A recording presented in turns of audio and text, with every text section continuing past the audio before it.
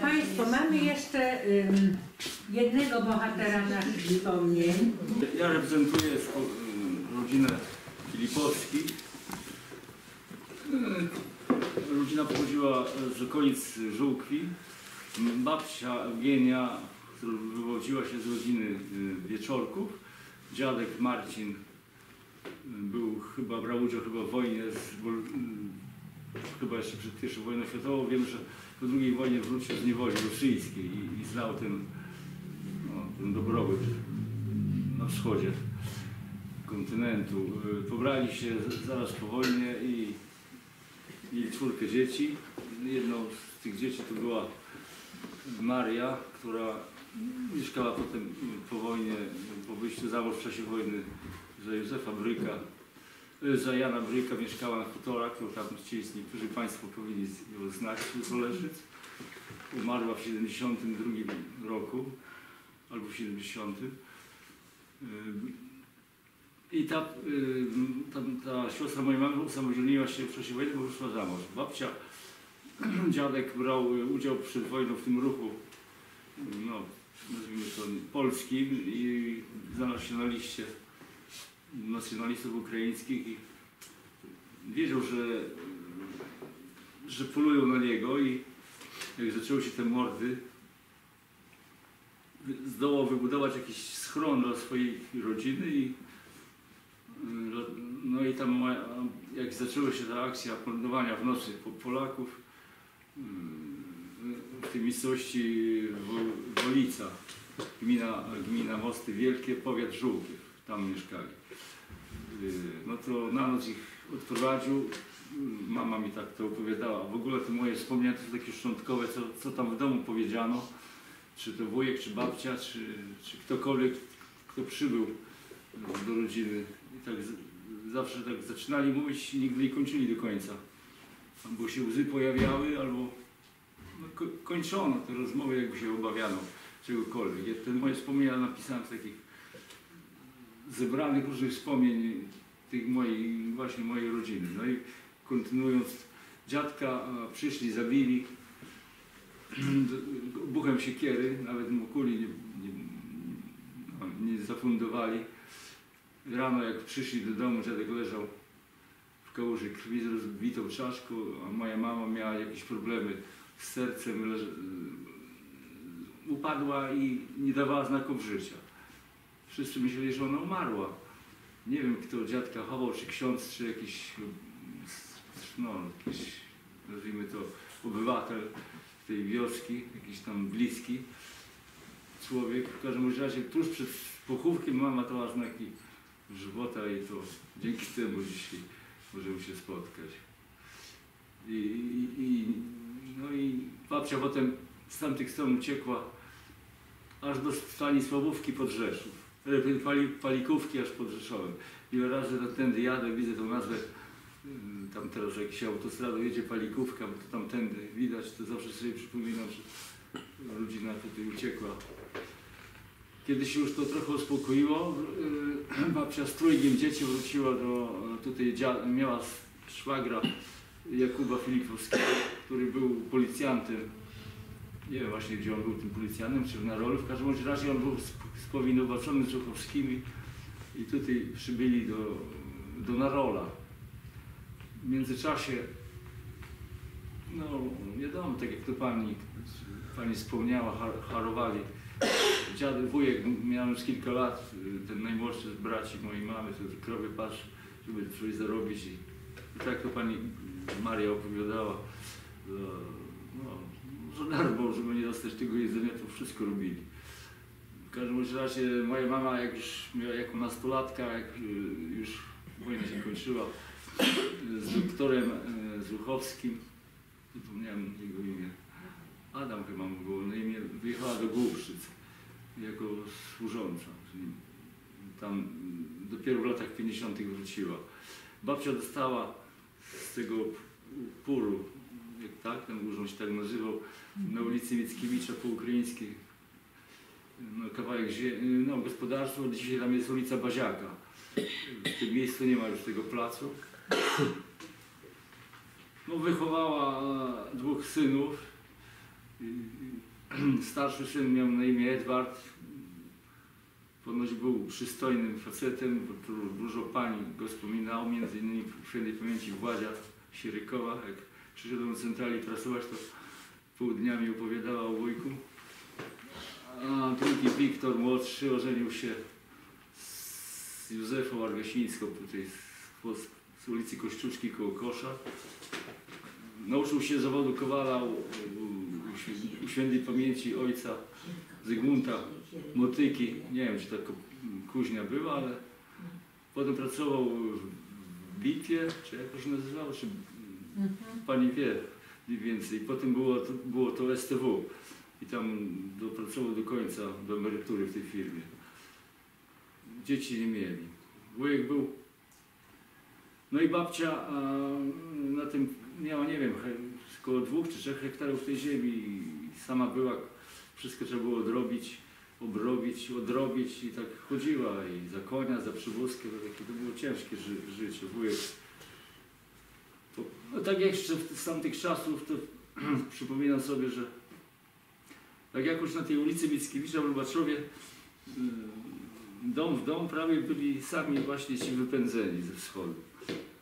Tak, ja tak słuchałem tych różnych wspomnień i jak na złość jeszcze kuria biskupa była i tak od dziecka pamiętam to nazwisko. Ym, No wcześniej tam y, o tym wi- Baziaku, który potem został wypędzony z Lubaczowa, do Krakowa trafił, tam był metropolitą. Tak cały czas się to kręciło. Te nazwiska różne, czy ksi- ksiądz Urliński, czy ksiądz Gwóźdź też z tamtych stron.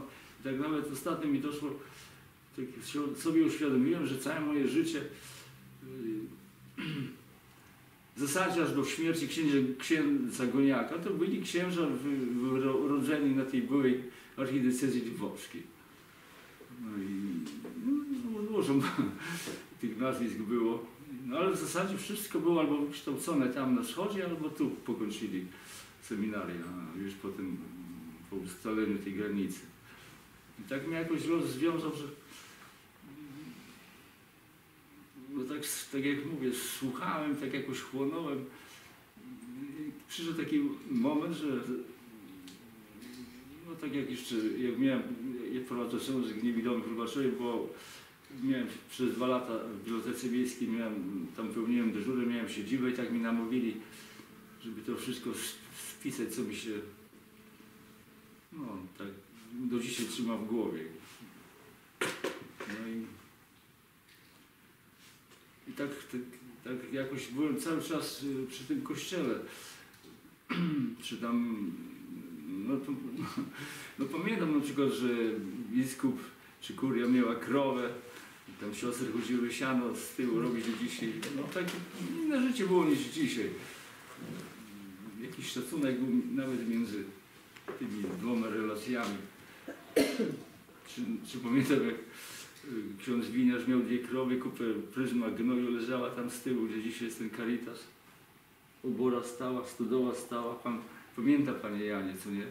Jak pan chodził do liceum. No. Zacząłeś mówić coś o IPM-ie. A właśnie. Tak właśnie. No ja, aha, jeszcze wam chciałem wspomnieć Państwu siostrę Marię e, Filipowską, taka, jak kiedyś w Lubaczowie istniał dom dziecka, taka mała siostrzyczka była. No, szkoda, że ona nie dożyła tych czasów. Ona, ona e, nawiasem mówiąc, pisała wspomnienia. Ja to znalazłem w internecie o takiej wiosce, skąd ona się wywodziła, Stanisławówka i ja to znalazłem, mam to w domu skopiowane. I ona wyjechała potem jak już, ona pracowała pierw w domu dziecka, potem pracowała w, w kurii jako, no, taka, to była bardzo ciekawa istota, bo ona skończyła y, liceum zaoczne chodząc w habicie. I te cztery lata przychodziła, do dyplomu musiała iść, zrobić zdjęcie jako cywil, kobieta cywil. I to tak śmiesznie wyszło, bo no wiadomo, ten nosiła na głowie cały czas, te włosy inaczej, fryzury oczywiście nie miała. No i taka ciekawostka, że całe 4 lata przychodziła do tego liceum, chodziła jako zakonnica, a na końcu musiała do dyplomu zrobić zdjęcie. No i ona potem e, z- nawiązała kontakt z tym stowarzyszeniem tych Krysowian w województwie opolskim. I, on, I ona tam chyba się zaangażowała, bo, bo nawet przyjeżdżali. Pamiętam jednych, gdzieś w latach 80. taki z Wrocławia przyjechał mojej mamy jakiś daleki kuzyn, też filipowski. I oni jakiś pomnik tam postawili. W kształcie takiego nachylonego krzyża nad tymi mogiłami. Tak, nie zapomnę tego wyrazu, tego pomnika. A moja mama miała składać właśnie oświadczenie do IPN. I tak się śpieszyli, zadzwonili do siostry, żeby mama przyjechała do IPN. To gdzieś było w latach około 2000 roku chyba, albo 2000, no jakoś tak. Moja mama wtedy miała e, udar, mam, siostra dzwoniła, że, żeby przyjechali, jeżeli chce ją przysłuchać. I proszę sobie wyobrazić, jeżeli przyjechali, ja nie wiem, mama umarła, dostała drugi udar. I nie złożyła żadnych zeznań. Tak słuchając tego odnośnie no, oni się też tak chyba specjalnie nie, chcą śpieszyć. Tak, ja to tak oceniam. A takie mam e, od ludzi e, informacje, nie wiem czy Państwo wiecie, że jak ksiądz Młodyński był e, Bruśnie proboszczem, to bywały dni, znaczy w roku rzadko, ale się zdarzało, że przyjeżdżał biskup Pieronek i Wojtek Jaruzelski. Bo to byli koledzy. I Wojtek Jaruzelski. Bo to byli koledzy.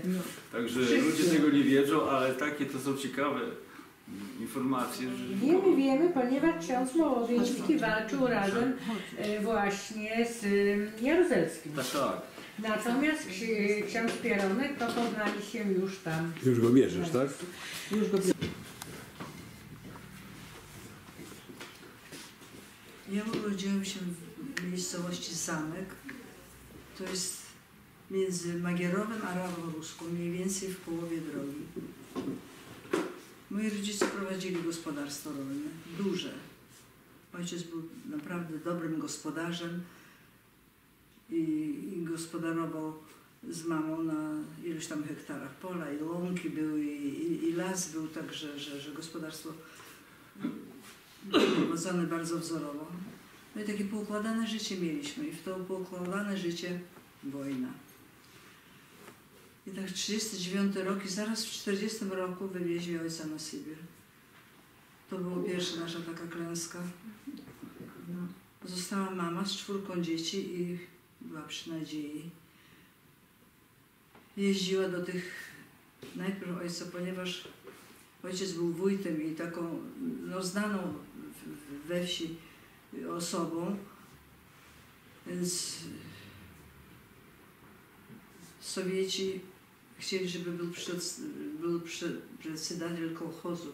Ojciec się nie zgodził. No i od tego się zaczęło właśnie w 1940 roku. Y, pierwszym transportem miał być wywieziony na Sybir, ale nie został wywieziony, bo był potraktowany jako więzień polityczny, bo na strychu znaleźli y, strzelca, czasopismo Strzelec, takie paramilitarne. No i, i najpierw siedział w więzieniu w Magierowie, potem w Lwowie, potem w Chersoniu, a potem w Charkowie i w Charkowie został skazany na 7 lat łagrów do Tiumeńskiej oblasti. To była Tiumeńska oblast, Republika Komi do, do y, miejscowości Uchta nad rzeką Uchtą do rzeczy Pie- Peczory. To się nauczyłam i tak zawsze to wszystko opowiadam. No myśmy zostali sami i właściwie tak życie nasze ty, po, ty, po ty rozpoczęciu tej wojny poszło dwoma torami. Jedno życie to było ojcy na Syberii, a drugie dzieci mamy z, z czwórką dzieci. No i mama z, była trochę na początku zagubiona, no bo nie było to rolą kobiety zajmować się gospodarstwem, się zajmował ojciec, ona się zajmowała domem i dziećmi. A tu spadło na nią, jak z, jasnej, z, z jasnego nieba grom, że teraz wszystko musi, wszystkiemu musi podawać sama. No zaczęło się gospodarowanie i wszystko by było dobrze, gdyby jakiś, to był taki pech, bo naprawdę naszą rodzinę spotkały wszystkie złe rzeczy, które się w czasie tej wojny działy. Więc najpierw była wywózka ojca na Sybir. Potem w 1941 roku zrobiłam sobie ściągę y, z lat, w którym co się działo. w 1941 roku, jak Niemcy weszli, to zaraz naszą rodzinę zakwalifikowali do wywózki do Niemiec. Więc zabrali nam wszystkie, przygotowywali rodziny oczywiście na germanizację, bo nas jako rodziny do Niemiec, a na to na nasze gospodarstwo, rodzinę niemiecką, która by tutaj, tak jak robił cesarz Józef, tak samo. No i już było wszystko przygotowane, ojciec mieli nas wywieźć do, tego, do tych Niemiec, zabrali, jak mówię, wszystkie yy, maszyny rolnicze yy, i, i także i, i konie, i, i, i, krowy. Została jakaś tam jedna krowina, czy, czy, czy dwie. Mama była na tyle sprytna, że, że trochę po sąsiadach porozparcelowywała to i była na tyle sprytna, że zabrała dzieci i wyjechaliśmy do Lwowa. A do Lwowa wyjechaliśmy dlatego, że u nas po prostu pracował taki właśnie Jasiek Woszczak z Ulicka. Pracował u nas i on się ożenił w Lwowie już miał tam rodzinę i jak mieliśmy wyjechać do, do, tych, do tych Niemiec, to mama z, z Jaśkiem się umówiła i Jasiek wziął nas do swojego domu do Lwowa.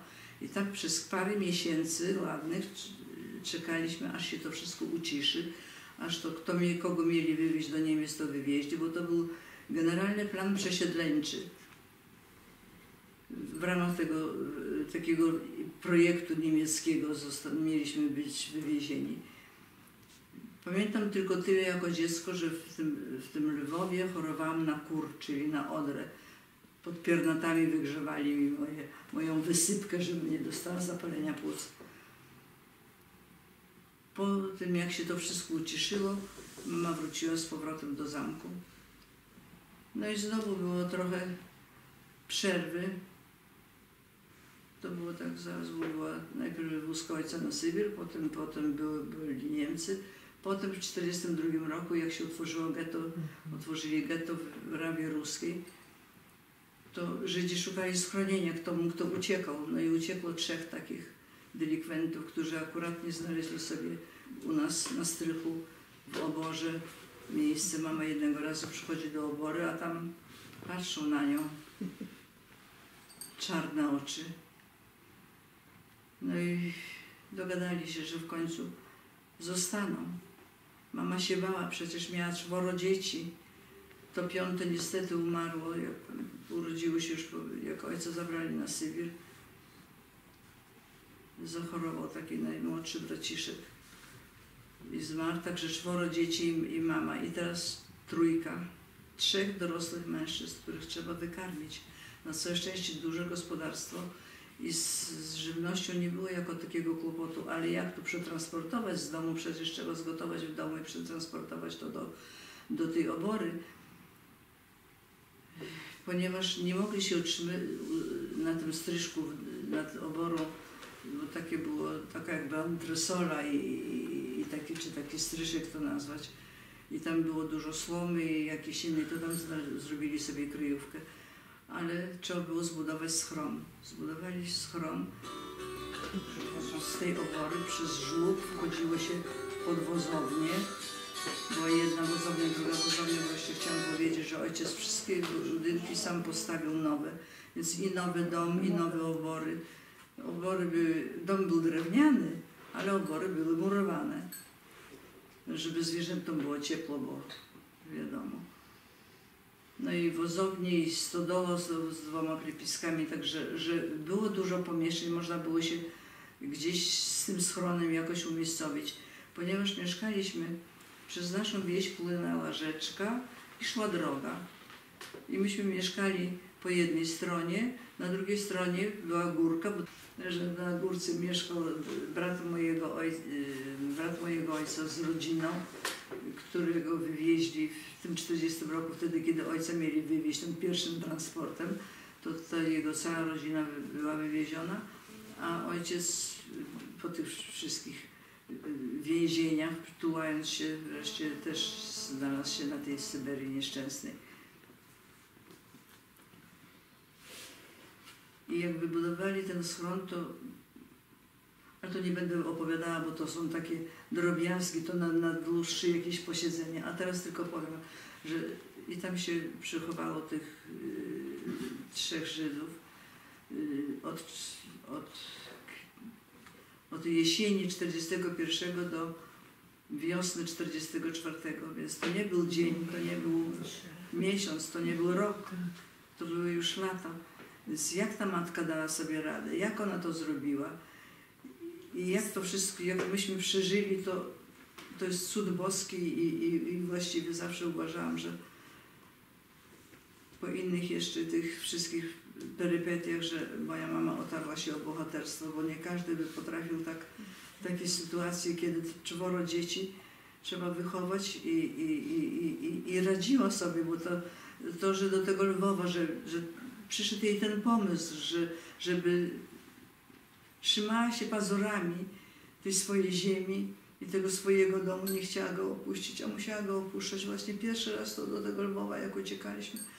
Potem 44 rok, bandy UPA i znowu trzeba było uciekać. No ale jeszcze, jeszcze wcześniej to muszę powiedzieć, że mama, brat już miał 17 lat i jak bandy zaczęły właśnie tak grasować i były coraz bliżej, bo to najpierw Woleń, a potem to się do nas przesuwało w tę stronę. Więc mama oficjalnie wywiozła brata do Rawy Ruskiej. Na furmance Franek pojechał.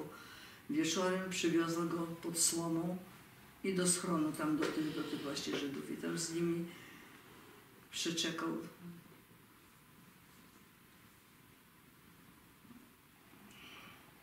Zawsze przepraszam, ale ile razy o tym opowiadam, tyle razy mam tu, ściska mnie tu i nie bardzo mogę mówić.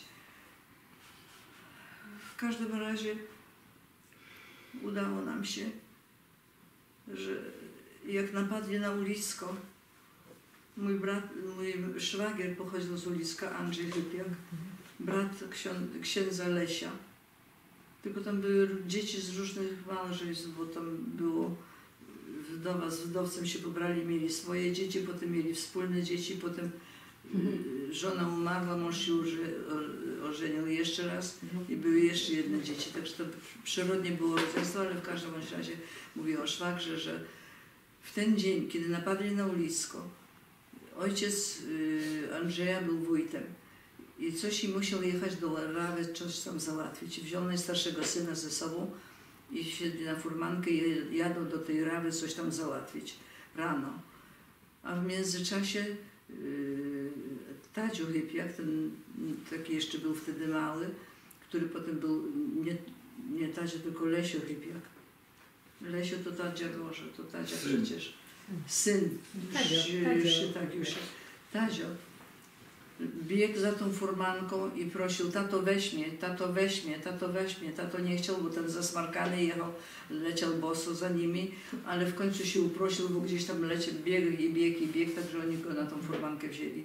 I dzięki temu przeżył, bo w międzyczasie, bo Ukraińcy nad, nad e, napadli w samo południe, kiedy się nikt nie spodziewał, że coś takiego mo może być. I jak wrócili tą furmanką z tej Rawy, to zostali z Gliszcza, no i szukają żony i, i, i siostry, czyli matki Andrzeja i siostry. One zginęły, w piwnicy były. Szukały powietrza, schowały się najpierw w piwnicy i w ziemniakach miały buzię tak w ziemniakach, bo trochę tlenu jeszcze, żeby ten, ale podusiły się, obydwie były za... Także trzeba było jakiś, wykopać przynajmniej grób, jakkolwiek pochować tymczasowo. Nie było łopaty, wszystko było spalone, dom spalony. Andrzej mówi, że własnymi rękami darł tą ziemię. Andrzej był Freśka ojciec, tak? Tak, tak. żeby pochować. Na drugi dzień dopiero przyjechali, na drugi dzień się wszystko uspokoiło i ten dopiero pochowali normalnie. Takie to były przeżycia. Takie to były trudne przeżycia, ale później Państwo znaleźliście się w Lubaczowie i Ale jeszcze zamieszkaliście. tylko powiem, że, że, że właśnie jak, jak w, w, wtedy, jak Ukraińcy jak napadli na naszą wieś i, i Nasz dom otoczyli, a mama chodziła dookoła domu, nie domu, tylko przez ogrodami tam i patrzyła się, czy przypadkiem nie podpalą, bo Franek w tym schronie mógł się udusić po prostu, brat. Ale ponieważ to były dobre zabudowania, dobry dom i zaraz po, jak myśmy tylko opuścili dom, to zaraz ukraińskie małżeństwo tam zamieszkało. Także ocalili dom, nie podpalili. Franek wyszedł rano. Wszyscy się zdziwili we wsi, bo Franek przecież wyjechał do Rawy Ruskiej ileś miesięcy temu, a teraz Franek wyszedł z, z, z ukrycia. I my właśnie do klasztoru. No bo gdzie?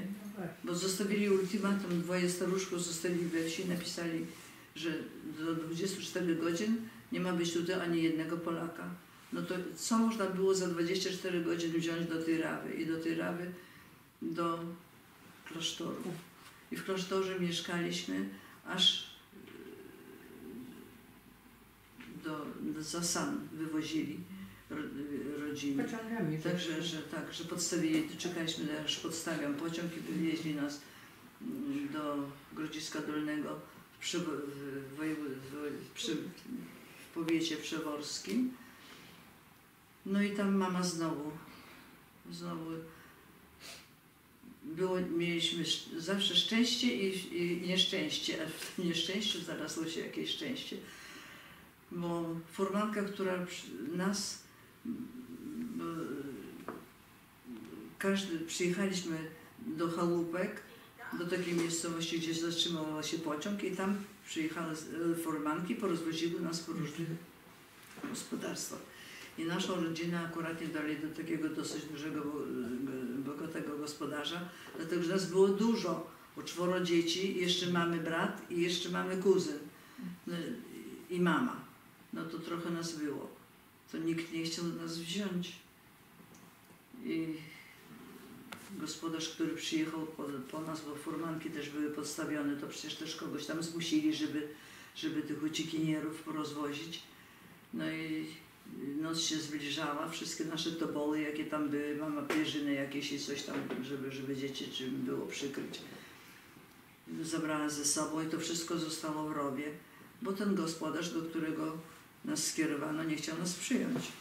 Także przenocowaliśmy w rowie i na drugi dzień dopiero, ale na drugi dzień rano przyszedł do nas sąsiad tego gospodarza, który nas nie chciał przyjąć i nas wziął, chociaż miał tylko dwa, dwie izby, dwa pokoje właściwie i kuchnię, to jeden nam odstąpił i my z mamą córki zamieszkałyśmy w tym pokoju, a chłopcy w jakiejś tam stodółce się urządzili. No na drugi dzień przyjechała polska partyzantka, bo już się dowiedzieli, że, że takie są rzeczy, że nie chcą przyjmować. No i się tam trochę temu gospodarzowi dostało. No, chciał nas koniecznie wziąć, wziąć do siebie później, ale mama powiedziała, że woli gorzej, ale u takiego, który jej okazał serce, a nie chce już tego No i to był pierwszy raz uciekaliśmy do Lwowa, drugi raz za San. Wracamy do Rawy i teraz okazuje się, że Wolfowie mają dom w Rawie. Ci Żydzi, którzy, na, którzy u nas byli i oni nas, nas wzięli. Także mówię, że dobro powraca jak bumerang. Wszystko powraca i złe czyny i dobre czyny. Tak mi się zdaje, że przynajmniej nas tak bo wróciliśmy z, z tego, bo już w naszym domu, w zamku mieszkała właśnie ukraińska rodzina, nie mieliśmy już gdzie wrócić. Także czekaliśmy, mama od razu z, z tym, bo trzeba się było zapisać, jeżeli ktoś chciał wyjechać do Polski albo zostać na Ukrainie, to już była Ukraina. Tak oni sobie uważali, że, że to już, to właściwie republika wtedy jeszcze, bo to republika ukraińska bo to Związek Radziecki przecież jeszcze był. Więc albo zostajemy tam, albo trzeba się zdeklarować, że chcemy wrócić do Polski. No i my, mama zapisała nas do, na repatriację ekspatriację właściwie, bo to nie była repatriacja. No i czekaliśmy na termin. Jak podstawili wagony, to znowu z tego już od, od Wolfów do, do, na stację i przyjechaliśmy do Lubaczowa.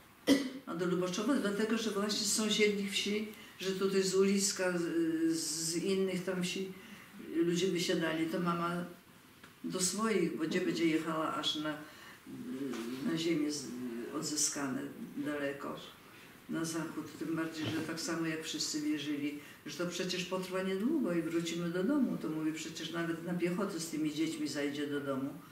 No ale już nie zaszła i została w Lubaczowie. A teraz jeszcze tylko króciutko losy ojca, więc ojciec na tej Syberii pił derewo, jak my mówili. No i, i s- spowiali drzewo. Także w ciężkich warunkach bardzo. Jak się tworzyła, zaczęła tworzyć armia Andersa, to ojciec z, z kolegą, a zawsze był taki przewidujący i był bardzo taki poskładany, pedantyczny i taki poskładany. Wie, coś jakby czuł z tych racji czarnego chleba, takiego komisyjnego chleba, suszył skórki i nasuszył sobie całe dwa woreczki z tych skórek od chleba. I okazało się, że teraz trzeba wędrować przez tajgę, przez śniegi, trzeba gdzieś dojść do tych punktu zbornego, gdzie do tej armii Andersa przecież zapisywali i skąd zabierali tych ludzi. No więc miał swój ko- kociołek i on i, i kolega i śniegu nabierali do tego kociołka i te skórki moczyli i jedli. I tak przeżyli dzięki tym skórkom od chleba. No i do, z armią Andersa cały szlak przy, przeszedł do, i w 1944 roku, znalazł się w Anglii w 40 i tam zdemobilizowany był, bo miał wadę serca i, i, i, i wzroku, także że, że stamtąd w, i w ogóle jak była demobilizacja już w Anglii, w Anglii Anglia nie mogła tyle, y, tylu żołnierzy przyjąć, to już zaczęło się, musieli się gdzieś y, ok- określić, gdzie kto chce jechać. I ojciec wybrał Stany Zjednoczone, bo tam jechali do Ameryki Południowej, do Australii i część zostawiała w Anglii. Ojciec pojechał do Chicago. I, i tam w Chicago był, jak znalazł nas przez Czerwony Krzyż w Lubaczowie, to y, chciał, y, oczywiście zaraz nam wy- dokumenty wyrobił, bo chciał nas zabrać do Ameryki, ale nas oczywiście nie puścili. Potem drugi raz jeszcze próbował, też nas nie puścili. W 56 roku po październiku, to odwilż w październiku w 57 roku wypuścili tylko mamę. Brat już był żon, nie, brat nie był żonaty. Siostry powychodziły już za mąż. Ja byłam na studiach, na pierwszym roku studiów. Mama pojechała do Ameryki. No i tam byłam w Ameryce. I tak jak Pan Bóg, los, nie wiem, sprawił, przez 17 lat byliśmy przy, bez ojca. 17 lat przerwy. 17 lat, dopiero po 17 latach przyjechał ojciec pierwszym, pierwszą wycieczką, jaką y, takie biuro y, podróży prywatny pana Mantuszcza, wycieczkę Polaków do, do Polski. Ojciec przyleciał tą pierwszą wycieczką, ale musiał realizować plan wycieczki, nie mógł przyjechać do Lubaczowa. Myśmy pojechali do, do Krakowa, tam gdzie zwiedzali zabytki, bo mieli wolny czas, dwie godziny i te, na te dwie godziny to myśmy się spotkali z ojcem. Po tych 17 latach ja w ogóle nie znałam swojego ojca, bo ja przecież byłam dzieckiem. Nie dane mi było siedzieć na jego kolanach. Nie dało mi, nie, nie było przytulić się do niego. No, proszę Pani, No ale takie były losy. mam takie pytanie. I potem już przyjeżdżali, potem jak mama wyjechała w 57, to już przyjeżdżał bardzo często, jak tylko mógł, to przyjeżdżali na, na, na, na wycieczki, na urlopy do Polski. Ale jeszcze coś takiego ważnego chciałam powiedzieć, tylko sobie już... Jak mogę się coś zapytać? Proszę Ja bardzo. pamiętam, w drugiej dekadzie lat 60. byłem ministrantem Tak. i Często, pamiętam, że w lecie, to co Pani teraz wspominała, takie małżeństwo przyjeżdżało i ksiądz winiarz ich sadzał w presbiterium. Na honorowych miejscach siedzieli. To byli chyba Pani rodzice. Moi rodzice dlatego, że wspomagali księdza winiarza. Dzisiaj się wyjaśniła sprawa dla mnie. I tam mama wtedy przywoziła jej obrusy, i ten, bo tu wtedy też kościół był biedny, nie było obrusów. Nie pamiętam to jak dziś. Z takimi złotymi, pamiętam, z takimi złotymi tymi rzeszkami, to potem Czyli mama obrus została w Stanach Zjednoczonych? Nie. Tak, mama została w Tak. Stanach Zjednoczonych, a, a, a dorośli wszyscy już byliśmy, także, że... A wyście najpierw- Państwo byli kiedyś w tej najpierw, Ameryce? najpierw y, brat się ożenił, który był dosyć długo, jakoś po 30, jak stary kawaler, myśmy już mówili na niego, no ale y, ożenił się, no i, i potem ja, to też, y, bo w 59 roku y, jeszcze raz ojciec robił dla mnie tylko dokumenty, bo już mówię, że rodzeństwo było żona, żonate, a y, ojciec zrobił dokumenty i ja pojechałam i byłam rok, 10 miesięcy, rok czasu byłam, ale wróciłam tutaj, bo tu już w międzyczasie poznałam swojego męża. No i jak to? Musiałam wracać przecież, bo jak to było, bo serce to nie sługa, nie zna co to Pany i nie da się przemocą okubać Czy. Państwo żeście utrzymywali później kontakty na przykład z tymi, z tymi Wolfami, co Pani mówi, yy, z Żydami? Utrzymywaliście Państwo kontakt po wojnie? Z kim? Z. Z Żydami. No właśnie, właśnie moja mama, y, nie moja mama, tylko tak tato z mamą, bo oni byli, bo znowu, ten jeden y, Żydzi ujawnili się, bo jak myśmy się musieli wyjeżdżać do tej Rawy i potem za San, no to trzeba było coś z nimi zrobić. I do takiej innej miejscowości, nazywała się to nie Borowa, tylko Góra, no jakaś tam góra, już nie pamiętam, Kamienna Góra, o, do Kamiennej Góry i, i tam y, y, oni y, przetrwali jeszcze tam trochę okupacji. A jak już y, Armia Czerwona jak przeszła i front przeszedł, no to się ujawnili, wyszli z tego ukrycia. I taki Chaim, który był taki najbardziej sympatyczny, najbardziej taki, taki no, lubiliśmy go wszyscy bardzo, ja jako dziecko mm, też. Także, że oni się ujawnili. No i, i ten Chaim jakoś szedł drogą i, i żołnierz y, rosyjski zagadnął go i on się powiedział, że, że, że, że wreszcie, że mógł wyjść, że taki szczęśliwy, że taki zadowolony, a to mówi, a co ty robiłeś przez całą okupację? No, no ukrywałem się, bo, bo, bo ten... On mówi, tak, to ty nie de, to ty dezerter jesteś, to ty zamiast się ukrywać, to ty miałeś walczyć za, za ojczyznę, a ty zastrzelił go. Zastrzelił go i zostawił go w rowie. I na nic było mu jego, tak jak w tych swoich wspomnieniach. Zawsze mówię, że lepiej piszę, jak mówię, a tu jeszcze te emocje, które zawsze już tak zdaje mi się, że, że to już mam poza sobą, że, że, że już jestem mocna i że mogę mówić. Nie mogę, bo za dużo tego było. Bo mówię, w tej mojej rodzinie skumulowały się wszystkie złe rzeczy, które się działy w czasie wojny, bo mówię, i Sybir, i Żydzi, i, i, i, i, jeszcze to właśnie to, to ucieczka do tego Lwowa. Dobrze, że ten Jaśko, a jeszcze historia z Jaśkiem, jak się skończyła. Więc jednego razu jeszcze, to był któryś, nie pamiętam, który to był rok, w każdym razie, kiedy te bandy tak szalały,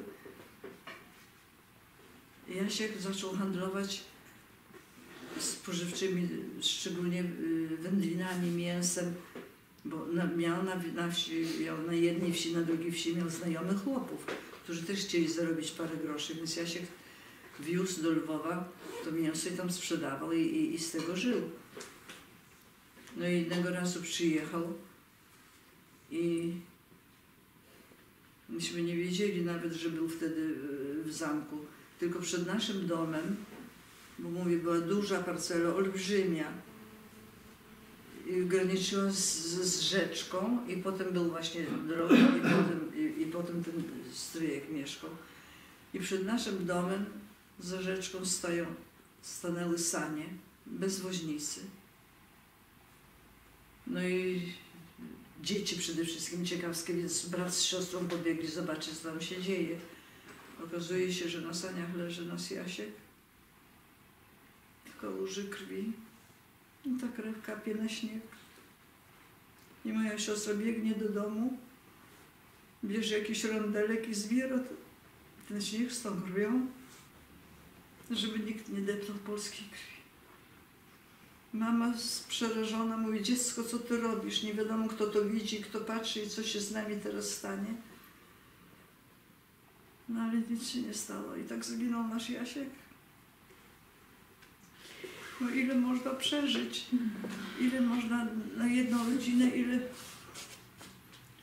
ile tych nieszczęść, ile tych takich, bo, bo każda rodzina przeżywa wojnę, to, to się nie da. Dlatego na te swoje wspomnienia do tej drugiej książeczki, to, postanow- to taki aforyzm wziąłem z tej pani Kamili Kampy.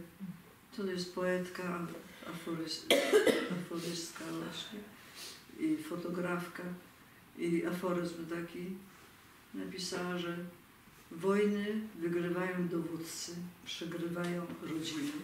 I to jest prawda, że najbardziej przegrane są rodziny. Dobrze, że nam się tak udało tyle tego wszystkiego przeżyć i przeżyliśmy i, i potem jakoś już przez te 17 lat też ojciec był w Anglii dosyć długo. Przecież ilu, ilu zostało wojskowych, ilu znalazło sobie drugie rodziny, to zakładali. A myśmy się jakoś znaleźli i jakoś... I mama jeszcze z ojcem jeszcze 33 lata żyli. Tylko, że tak ta wojna ich rozdzieliła, bo jak ojciec umarł, to brat napisał do mnie, czy nie wzięłabym mamy, bo oni pracują. Tam w Ameryce inny jest rytm, tryb i ten, a tu małe miasteczko, można kogoś znaleźć, można, można ten, czy, czy ja bym nie wzięła mamy. No i pojechałam po mamie, zaraz po śmierci ojca przywiozłam ją do Lubaczowa i mama leży pochowana na cmentarzu lubaczowskim. Ojciec leży w Ameryce, bo tam w 60 latach, na początku w 64 wyjechała siostra, potem wyjechał brat. Także podzieliliśmy się, po rodzina się podzieliła. Tam dwoje dzieci, tu dwoje dzieci, tam tato, tu mama. I ja mówię, że tak rozdzieliła nas ta wojna i tak już do, do końca. Brat mamy, najmłodszy, tak, Michał Dziarski, który w Warszawie został yy, po wojnie, chciał mamy uhonorować jakoś. To, to było jeszcze, to były lata 80., 70., już nawet nie wiem. I przyjechał, pojechał, był w Nowym Jorku i pojechał do tego, bo jeden z, bo mówię, Chaim zginął, a tych dwóch przeżyło. Jeden jest w Nowym Jorku, a drugi w Argentynie. Nie wiem teraz, czy żyją, bo teraz to już, to już nie wiem, bo się y, urwało. Ale oni nawiązali kontakt z rodzicami moimi, bo ojciec był w Chicago, nie w Nowym Jorku. I to chyba ten Michał, taki, tak zdawało się dziecko, bo wychowywało się bez matki. Moja mama go właściwie wychowywała, bo przedtem kobiety rodziły więcej dzieci i matka rodziła razem z córką. Także, że mama, mama mamy, czyli moja babcia umarła przy porodzie, a mama wychowywała brata i swojego bra brata i swoje dziecko. I on chciał się jakoś tej siostrze odwdzięczyć, bo kochał tą matkę moją ponad życie. I, i w, w, w tajemnicy przed całą rodziną pojechał do tego Nowego Jorku. Czy był tam w Nowym Jorku na jakiejś, nie wiem.